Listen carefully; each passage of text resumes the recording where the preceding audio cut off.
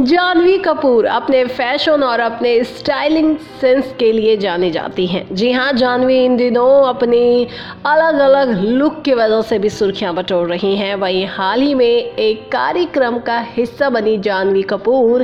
कार्यक्रम में जाने से पहले वहाँ मौजूद फोटोग्राफर्स ने उनसे फ़ोटो खिंचवाने की रिक्वेस्ट की जिसे जानवी कपूर ने मा, नहीं माना। जी हाँ इस मौके पर जानवी ने नीले कलर के कोट पैंट और वाइट कलर के सैंडल में नज़र आई। और इस ड्रेस में जानवी कपूर बेहद ही ज़्यादा ग्लैमरस लग रही थी। जी हाँ जानवी कपूर ने यहाँ अलग अलग अंदाज में फ़ोटो खिंचवाया, लेकिन जानवी कपूर के इस फ़ोटोज़ को उनके फैंस काफ़ी ज़्यादा पसंद कर रहे हैं और उनके लुक की जमकर सराहना भी कर रहे हैं। जानवी कपूर अपने इस फ़ोटोज़ को लेकर सुर्खियाँ बटोर रही हैं। वहीं जानवी कपूर ने हाल ही में एक फ़ोटो शूट भी करवाया था, जो इंस्टा पर पूरी तरीके से छाया हुआ है। आपको बता दें जानवी कपूर ने मराठी फ़िल्म सौराठ की हिंदी रीमेक यानी धड़क से बॉलीवुड फ़िल्म में डेब्यू किया है।